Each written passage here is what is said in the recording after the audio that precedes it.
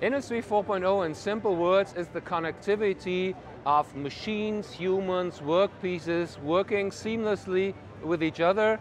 The Internet of Things and Services is coming into manufacturing logistics and offers tremendous opportunities for a more energy efficiency, more productive and more customer specific production. A major advantage to work with Bosch is that we really know what we're doing. Bosch is famous for having a 130 year experience of production. And we can invite customers to our plant and really show them what we do. So it's much more than PowerPoint. It's touchable, it's tangible and benefit. We have more than 250 plants where we introduce these technologies and have significant progress on that. So just to give you an idea, Bosch is expecting till 2020 an internal saving of more than 1 billion euro so this has a tremendous impact.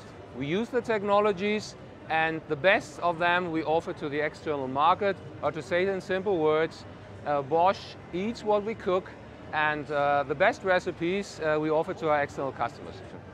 It's a great opportunity uh, to utilize the strengths of humans by using technology to support people. So for us, people are in the center of everything and it's not just about automation.